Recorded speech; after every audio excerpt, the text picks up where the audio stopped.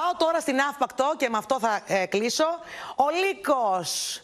Ο Λύκος είναι εδώ και κάνει βόλτες σε ένα χωριό της Ναυπάκτου. Κάνει βόλτες ανάμεσα σε, κατοικημένες, ε, περι- σε, κατοικημέ- σε σπίτια, σε κατοικημένη περιοχή και σε γήπεδο. Το βλέπουμε.Όπο. Είναι ένας κύριος ο οποίος ήταν πολύ χαλαρέο και έκοβε τη βόλτα του, το συνάντησε στο διάβα του και αποφάσισε να βγάλει το κινητό του και να τραβήξει αυτά τα πλάνα. τα Εντάξει. οποία έχουμε. Εγώ είδα μια αλεπούδα. Κατέβηκε στη νύχτα, έκανε μια βόλτα. Για πλέον είναι ευτυχώς. πολύ συχνό φαινόμενο. Εγώ βλέπω αλεπούδες πλέον και δεν μου φαίνεται περίεργο. Η Βλέπω Αλεπού, αλεπούδες πρόσεξε παντού. λίγο. Η Αλεπού δεν είναι. Ο Λύκος είναι πιο άγριο, πιο Σίγουρα. άγριο ζώο Βέβαια. από την Σίγουρα. Αλεπού.